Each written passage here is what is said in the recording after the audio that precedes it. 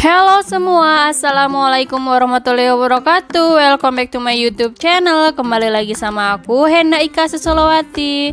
Di video kali ini, spesial banget aku akan membuat resep putu ayu jumbo ukurannya Cuma satu telur, ini empuk banget dan mudah banget cara pembuatannya.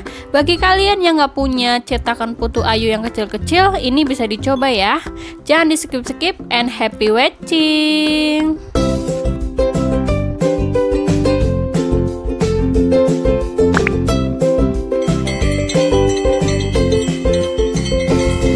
Untuk bahan-bahan yang dibutuhkan, yang pertama di sini ada satu butir telur dalam keadaan suhu ruang, kemudian ada 60 gram gula pasir, dan ada setengah sendok teh SP atau TBM.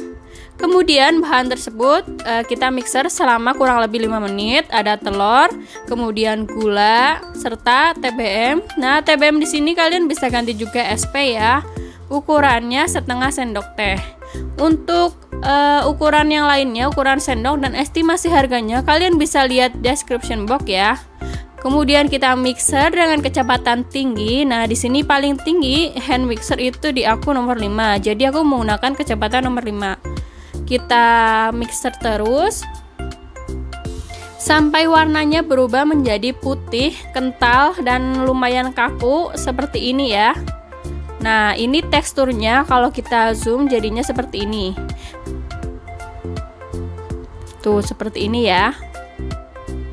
Nah, kalau udah seperti ini, ini berarti udah kita hentikan e, mixernya. Kemudian kita tambahkan 125 gram tepung terigu. Nah, ini lebih baik lagi dengan tepung terigu protein tinggi. Kemudian kita tambahkan 90 ml santan kental atau santan cair juga bisa. Kalau nggak ada santan bisa juga digunakan air putih biasa. Kemudian kita mixer dengan kecepatan yang rendah agar semua tercampur merata aja. Kalau nggak di mixer pakai spatula juga bisa.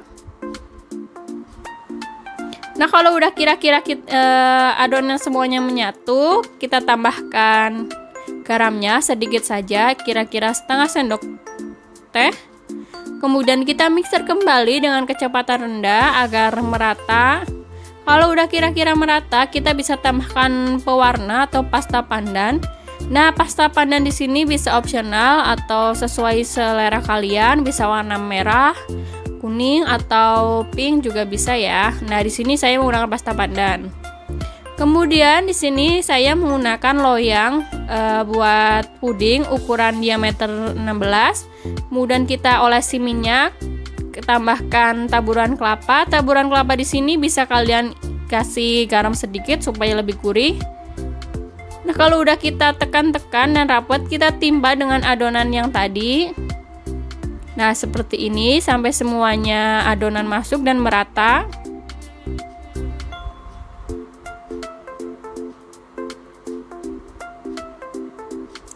Nah, kalau udah kita hentakan atau banting-banting seperti ini, tujuannya itu supaya udara dalam adonan itu terbebas dan tidak terperangkap.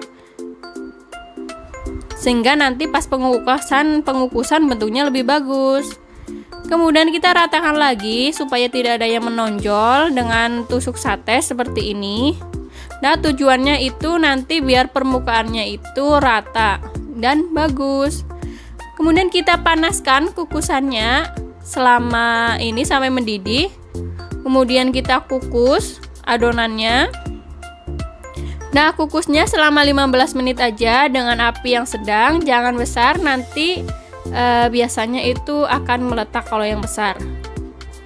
Dan tutup pancinya harus di e, pakaiin kain seperti ini ya supaya uap airnya itu tidak menetes ke adonan. Nah, kalau udah kayak gini, kita 15 menit. Ini udah waktu yang matang. Nah, udah disiap disajikan. Ini simpel banget. Jangan lupa untuk like, comment, dan subscribe channel ini. Bantu supaya channel ini dapat berkembang ke arah yang lebih baik lagi.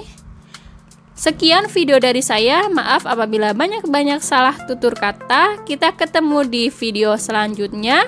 Wassalamualaikum warahmatullahi wabarakatuh.